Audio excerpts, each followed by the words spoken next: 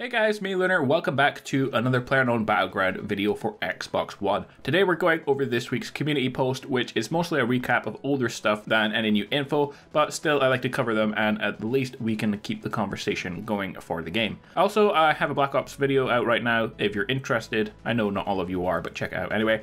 If this video is helpful, a like is very much appreciated. The first thing discussed in this week is the lost connection to host error.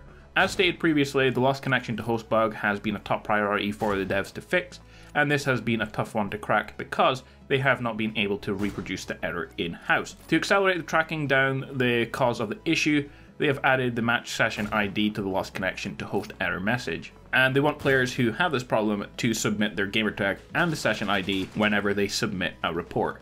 So basically, they don't really have any idea what's wrong, and they're still investigating, so don't expect any fixes for the lost connection to host error anytime soon. And that is a bit frustrating because it is a very annoying bug. As you may have known, the PTS is up and running with a new update for everyone to test out. The PTS update brings out new content like the Beryl M762, the MK47 Mutant, the scooter, the Tukshai, as well as plenty of quality of life updates and bug fixes. But there was also a new hotfix released as well fixed an issue where the left stick, the character movement one, acted too sensitive and was causing drift. Fixed an issue where auto run would stop with a minor L stick movement, and EU servers have been opened up on the PTS for third person perspective. But of course, that does mean that with all the players split up, there could be a lot longer waiting times for you to find games on the PTS, so keep that in mind. The South American servers are currently available now until October 15th to select and play on.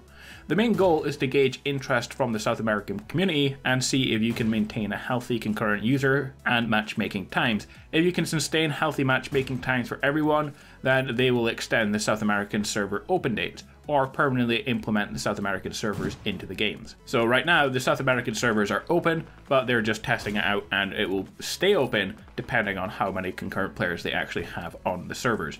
If there's not enough, then they will close. If there's enough, then they will stay open. Next, the devs have been investigating the use of hacks and cheats and have taken appropriate action against any players who have used them. The use of hacks and cheats is not tolerated and is against the rules of conduct, and they're now issuing permanent bans for those types of behavior, and any future instances will be dealt with the same way. So guys, not a lot of info in this week's community post then, just recapping stuff we already know. I'm sure there will be plenty of blackout related comments, there always is these days. I don't know though, I still feel like PUBG will make a comeback there are still plenty of things that will bring players back to test it out anyway. Custom games and the training island, the new snow map, I think the game really needs the PS4 version as well to stay relevant in the coming months. But after Christmas is when I really think we will start to see whether the game is going to compete or not. Once maybe the new game hype has died down and the promised upcoming PUBG features and content have released, we will see where players have settled. I definitely think though that most people would pick a fully working PUBG over a fully working Blackout any day,